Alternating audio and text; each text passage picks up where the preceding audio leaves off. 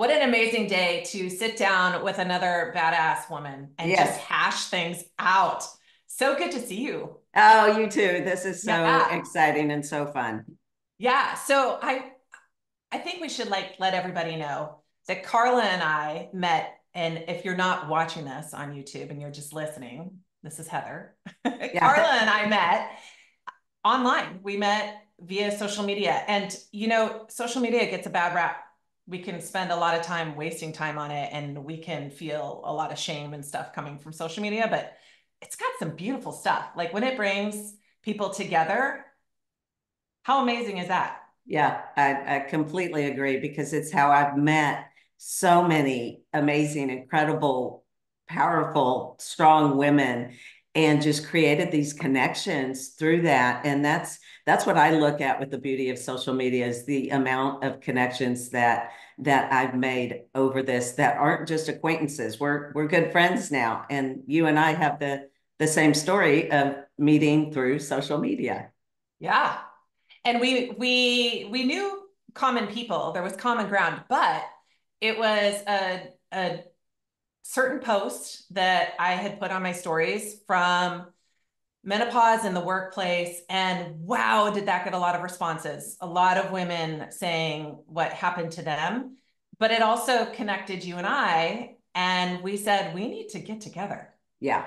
Let's yeah. do this. Yeah. Yeah. well, because it's also, you know, it, to me, it takes it to also where you and I do a lot of the same things in in but we're, we're, different but we do a lot of the same things. We're in different parts of the country. But um, where it's just another example of two of us two podcasters two coaches all the things coming together and cheering each other on cheering other women on which I know that you're passionate about that too and not viewed as competition but as you know what a way we can collaborate and pour and speak into women by both of us sharing our, our experiences and our stories. 100% agree. Yes. And I and I do firmly believe too that when you have more numbers, you will make greater impact. So yes. Yeah. Let's do it. Yeah. So let's let's dive in with talking about, you know, the the topic that brought us even together with age in the workplace, menopause in the workplace, what's happening, what's like, what are we hearing, what's experiences that you've had um, or that do you remember, had. Do you even remember what that post said? Um, I was trying to think about that. I was trying I to remember exactly. And, you know, unfortunately stories like come and go. And then I, I, it had something to do with I know women, I put you on the spot. Women, um, their, their difficulties. And I can't remember exactly if oh, it was about leaving. It was workplace. about, it was about something about with, um, wasn't it with aging and menopause? I, darn, I wish I would have looked before we got on, but total menopause moment. So, yeah. but, but the point of it was that we do feel like ageism, sexism, like a lack of understanding, yeah. a lack of education. And the people that were coming out of the woodwork talking to me about what they've experienced, like in all different capacities. So, yeah. so some women in fitness, some women um, in the business world, the things that they came up against, really unfair and yes. very common.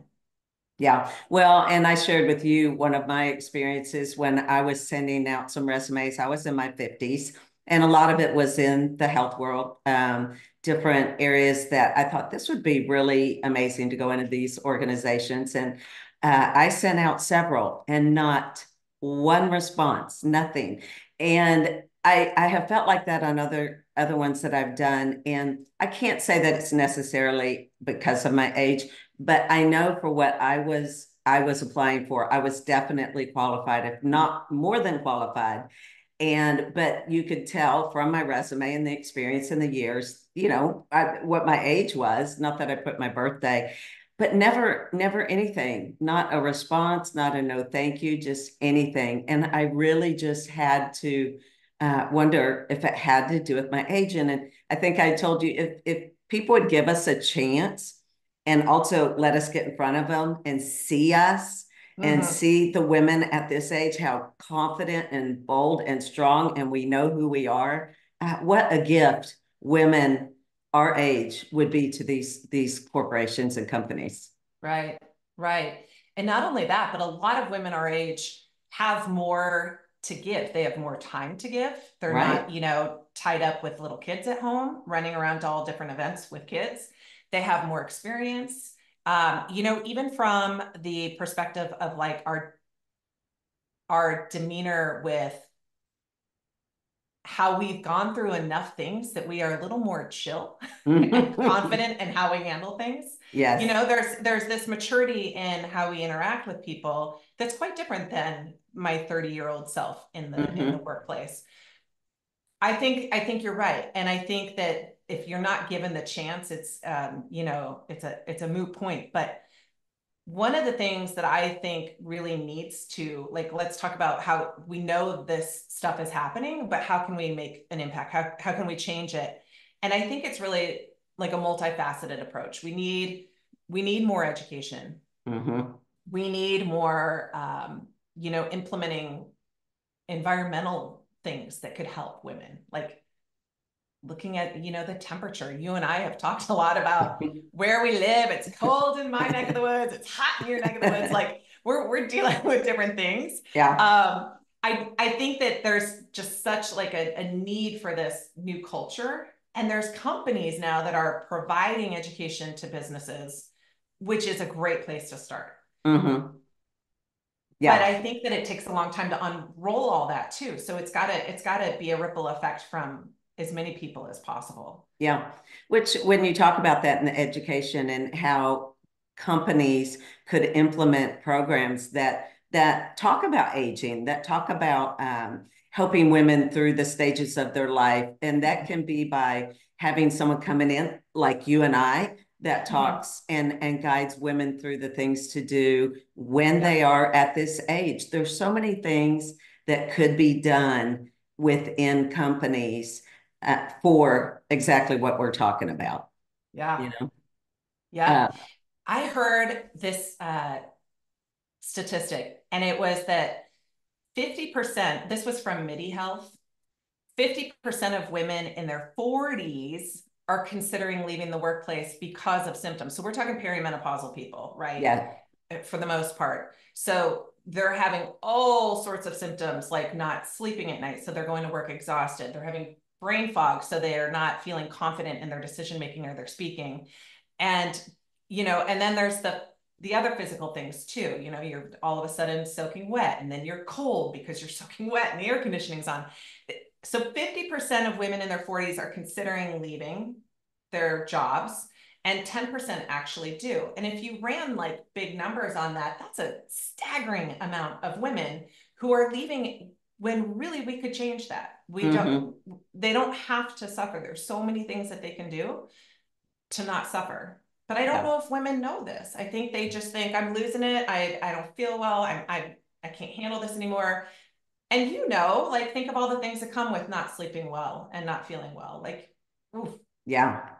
Irritability, impatience, uh, brain fog. I mean, all, all the things. And yeah, if, if, if they could have the education and the knowledge and the people that they work with so that they have an mm-hmm. understanding for women that are going through this. So they don't feel like they're alone or losing their mind or going crazy or they don't have to be embarrassed if they're sitting there and all of a sudden they're they're covered in this sweat because it is mortifying. But mm-hmm. again that's where the education and everything comes in where you help women know the things they can do to improve that and you can help those around her know how to help her best for sure. Yeah. Carla, I don't think you know this. I have Hashimoto's. So one of the one of the, you know, fun things I deal with anyway is brain fog. So when I started going through perimenopause, on top of the Hashimoto's, like I thought I was losing my mind. Yes. Yeah. Literally losing my mind.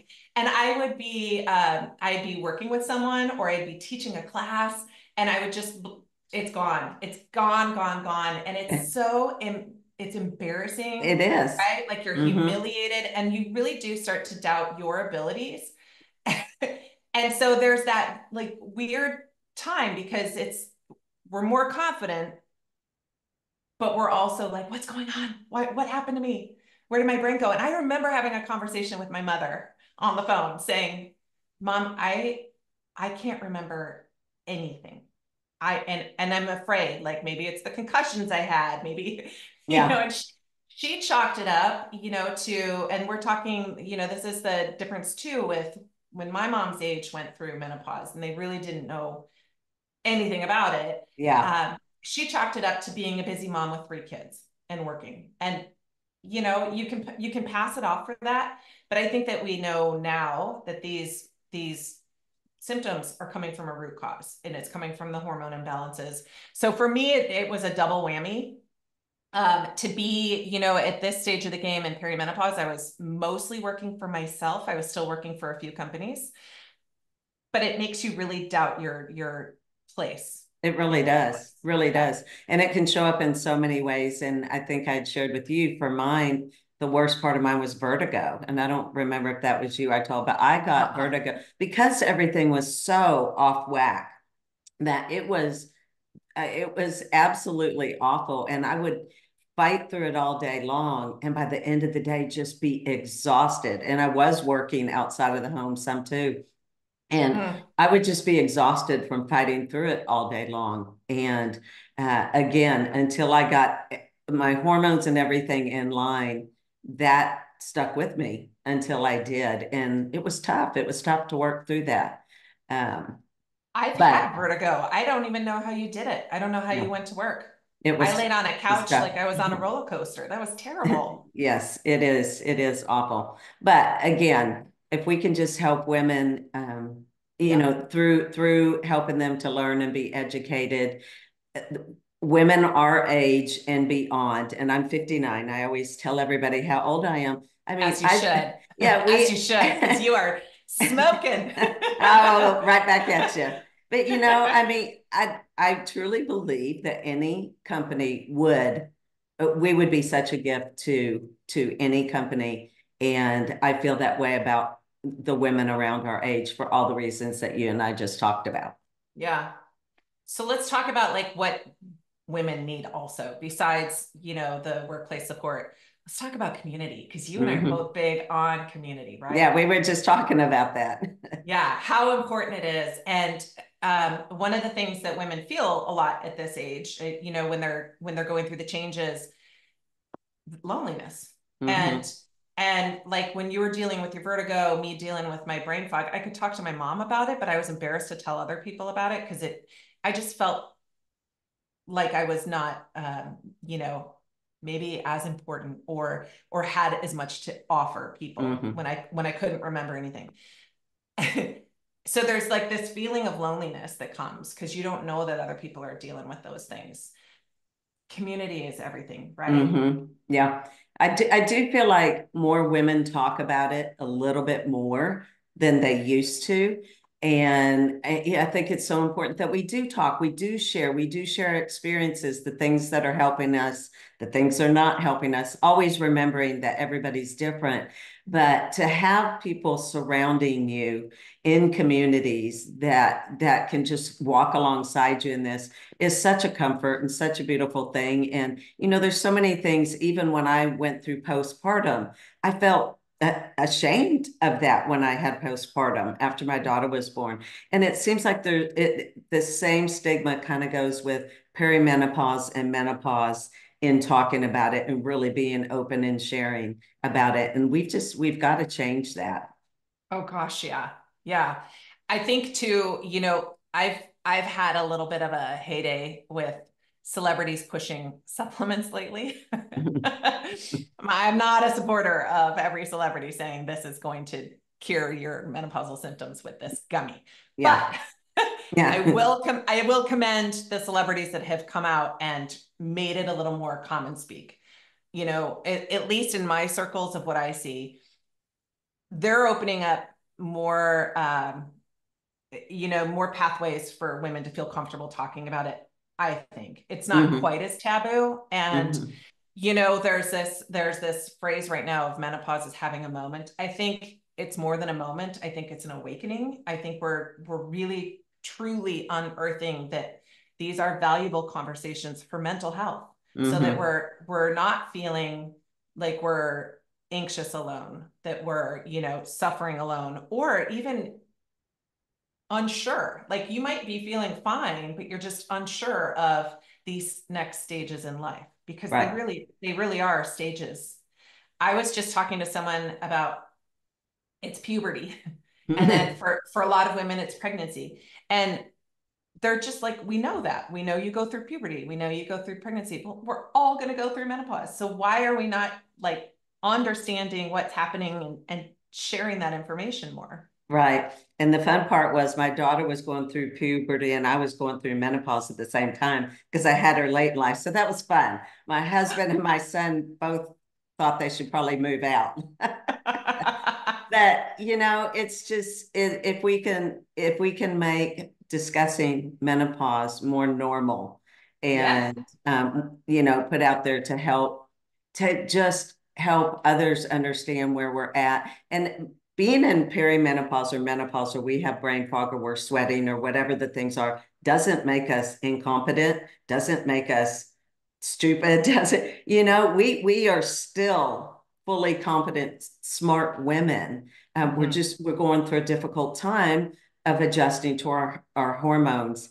And if everybody could just remember that and uh, i think we could get so much further down the road.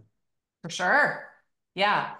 I think one of the great things about community, whether your community is five people or you have a couple hundred people in your community, is that those shares, like those gold shares of things that you maybe were too embarrassed to talk about to your doctor or things that you didn't want to ask your mom mm-hmm. she went through. Think just think or you know like just having that group that network to say why is my vagina itching so yeah. much? And and and what do you do? You know, yeah. like yeah. like let's let's totally normal nor, you know normalize the conversation and maybe you're just maybe like you're someone in a community like um uh, you know an online community so you and i both have our groups of people that we work with right maybe you're that person who's like i am never saying vagina to someone i don't know or talking about it in public but I'll I'll watch what's happening in that community so I can learn from them. You know, the fly on the wall, but they're uh-huh. still they're still getting what they need from the community because they're they're maybe not being heard, but they're he- they're hearing and they're seeing. Right. And it's even the time to come together with community and other women and laugh at yourselves. You know, I mean, it, it, it's it's okay, you know, just laugh at yourself and you have someone else to do that with. And the support from that, and even just being able to laugh through some of it, like sharing a story when you're in your community or whatever and sharing, oh my gosh, I was doing this today. And literally, I had to grab a paper towel roll and wipe myself down, you know, whatever it is. Because I'm, I'm only saying that because I might have done that before, you know, but it's just having that community uh, and mm-hmm. especially during this stage just having that community around you will make all the difference in the world as you as you go through this you know? Oh gosh so important. Yeah. Uh-huh. Yeah. and i i also will back that up with i don't know about you but i can tell my husband all these things. It's not going to get the same it, it's not going to give me what exactly i need that i would get from my girlfriends going through it. Right, right. That that's so true. So true. Yeah. Um, yeah. And, they, and nor does he want to hear it. yeah. no, he probably doesn't want you saying vagina. I mean, now we've said that what three, four times. I don't know. Um. That's going to be the new title of this podcast. Yeah. So, like when we when we talk about community and we talk about the changes, we've got to talk about like evolving and mm-hmm. and how our lives, you know, like how how we need to set the expectations of things are changing things are going to change they've always changed. Like when we're young the things we need to know so that when we evolve it's not so hard it's not this big slap in the face. We're paving the way i think for our daughters for our granddaughters. We are we're opening up these communication lines to help them with with their journeys i think. Right I, I totally agree. And, you know, because we're so focused, uh, 20s, 30s, four, I mean, for me, 40s, because I had kids late, we're so focused on raising our kids and not taking care of ourselves and and and things like that and then once you start evolving into this this age and this stage of your life you've kind of lost yourself in that lost taking care of yourself and if we can also make the importance of of starting to do that at a younger age starting to take care of yourself at a younger age even while you're you're raising children and in a corporate job whatever it is um, just just helping with making that transition because I think you can go into perimenopause if if you are if you're doing the healthy eating and exercise and and mindset work and things ease into that perimenopause perimenopause phase you know with a little bit smoother transition and yeah. if it and i think that's where like you said i mean if if we can help lead by example, change the narrative around all this, talk about it more and educate more, it, it, it doesn't have to be so difficult as they walk into these different stages of life. And and walk in confident that they know right they're going to be okay and they know what to do. Yes, completely agree. Yeah. I think um, you know that that the thought of losing ourselves, like you, you just touched on, it, happens. I don't know anyone that it hasn't happened to. So whether it's around childbirth or, you know, um, changing jobs or leaving a job, whatever it is, I feel like we do in our 40s and 50s and onward have this pinnacle where we feel like, oh, I just lost myself. But, but maybe it's not that we're really losing ourselves maybe that's the the um, you know the butterfly moment to yeah. reinvent reinvent yourself re like put put on the cape and and go at it like this is this is an opportunity now to take all the collective of what we have and try something new or mm-hmm. you know you and i were talking about a, a conversation with kids and um, when kids don't do what you want them to do or when kids start to want to do their own things and all of a sudden like your role as a parent hits this pivotal part where you're like oh i'm not super involved with them anymore. Instead of looking at that as a sad thing of you know like mourning that that relationship has changed like let that be the time when you go find your joy. Mm-hmm. this is a great time. I think the second half of our lives is the perfect time to yeah you know go find what makes you happy and and gives you peace and makes you feel fulfilled mm-hmm. i i agree 100% and the thing you know for me i know you and i've talked and i've shared my 50s are when i've done more than I have done. I, I tell my kids I still don't know what I'm doing with life because I'm always trying new things. I'm I love learning. I love I love just trying new things. And I'm at a stage in my life where I can do more things now because before it was more family kid focused. And mm-hmm. now it it can be more on me and the things that I'm doing. And it just opens up so many so many more doors. And, you know, I'm an empty nester and my daughter comes back from college, but I'm an empty nester. So this season for me, like you said, it, has been amazing. And I, I take better care of myself as far as my health and my stress and my mindset. And I just all the way, all around, I, I feel so much better than I did in my 40s you know, I don't know if I can remember all the way back to 30s how I felt because I think I was just running around a lot. But um, and that's why I always make the statement about we're not just because you're getting older, throw away the mindset that we're washed up, that the that the world I think is kind of created around women that get past a certain age and that we don't matter anymore. And it, it's so important to help all of us to come together and change that narrative that this can be the most beautiful time of your life. It's different from when you were raising kids or whatever, uh, because to me, that's my biggest, greatest accomplishment and most mm-hmm. amazing thing. But this stage of my life has been absolutely fabulous and empty nesting and having my husband and our time. It, it's yeah. it's been amazing. And I want women to get excited about this phase of their life and not so dread it. True. You know? I yeah, I I'm I'm looking forward to it.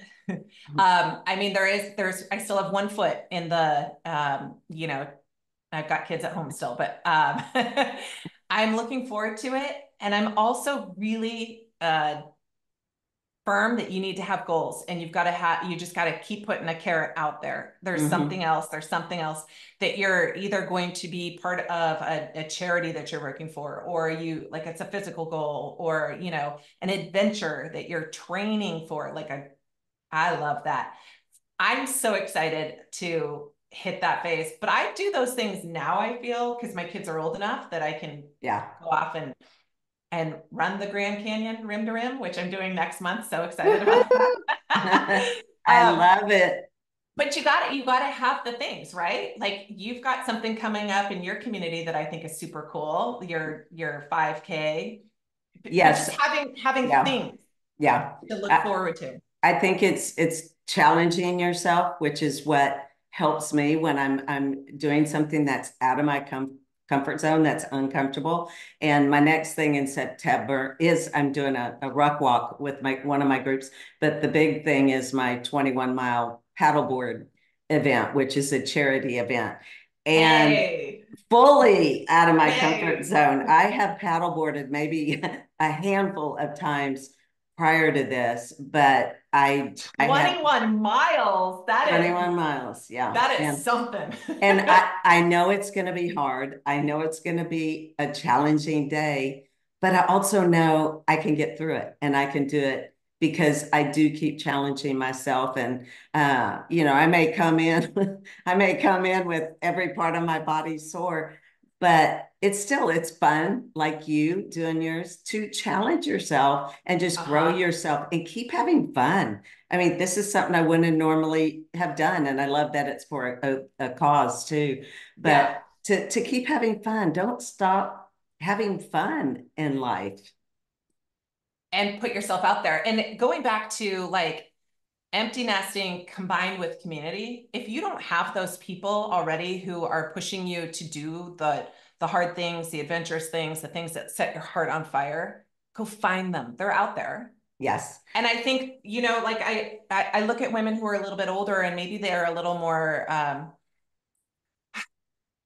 you know stuck with with smaller groups of support and they don't really know how to find those communities. Mm-hmm. We have so much access to things, uh, you know, online.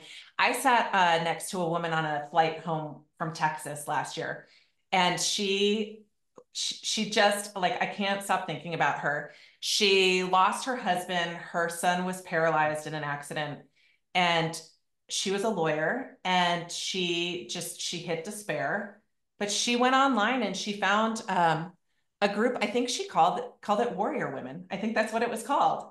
And they traveled to costa rica together. They traveled to uh, maybe bali like and fed elephants.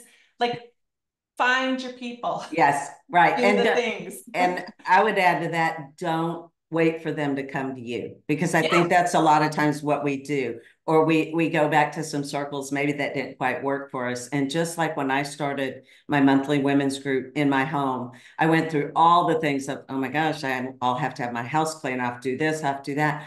And it's just like do it. Do it without perfection. Just do it. And i started this group. It's been it'll be two years in january and it's a simple it's a sweet way to gather women. I gather them in my home. It's nothing fancy. Everyone brings food. And it's just created this community. And there's so many different ways. Find through your neighborhoods um, if you like to walk walking groups or gardening groups or there's so many ways to find community and or start your own.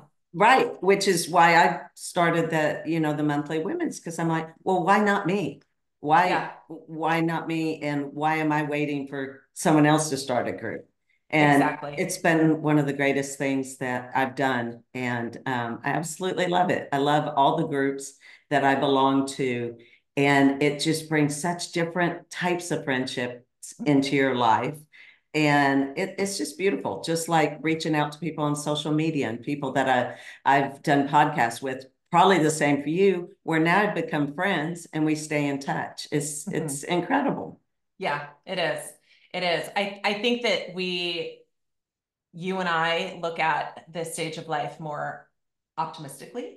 Mhm. And um, you know, I my hope is that every woman realizes that she can feel strong and like she belongs, whether it's in the workplace or it's not in the workplace, that this is the time really to thrive and shine. And I think I think you are of the same mind. Yes, yes, definitely. And I would love to touch on that a little bit as far as um, before we wrap up on beauty and and aging. And I was sharing with Heather a podcast I listened to years ago, and it has stuck with me all these years. And I've gone back and listened to it and the reminders. And I'm I'm going to read a little bit of what it is because I don't want to botch up um, what it said. But it talked about how beauty has always defined you. And uh, several years ago, probably four years ago, I actually did a post on another page on this and really talked about how that's what defined me growing up. Uh, it was just focused on that. But it talks about if beauty's what always defines you, what happens when you no longer look a certain way. And that's where you put all your identity, all your worth, and all your value. And beauty, as you may know it, is changing, but it's still beauty, even as you age, because a strong, confident, active woman is absolutely beautiful because she shines from the inside out with joy and she has she has from feeling amazing as she ages. She accepts the aging process because she's fighting back with a healthy, active lifestyle, not worrying about the wrinkles she earned from laughing and living life. And I just love that. I think it's so mm-hmm. powerful. And I think it's something that we can all carry with us and again, like we talked about, just help in being the example to this younger generation, to, to the women our age now, that you don't have to stop living, that it's never too late and you're never too old, right? And amen. Um, I don't that to me that was so powerful. And um, just if we focus on our beauty from within, we can we can do anything. Words of wisdom, Carla. Thank you for sharing. oh, I'm so absolutely. glad we had this chat. I, I know, right? Yeah. Can we do this often? We can, it's almost like a little therapy counseling session, except we're doing it for a lot of people. yeah. Well, we'll, we'll carry on and we will continue to take this message out into the world. Thanks so much for, for sharing this uh, time uh, this, with me today. This has been so fun. And we will, um, uh, I will have Heather's contact info and all her stuff in my show notes and same same. um, yeah so we are so glad that everyone joined us. This has just been so much fun and i'm sure we will find another topic sometime soon that we'll have to do this again. Awesome. Okay all right see ya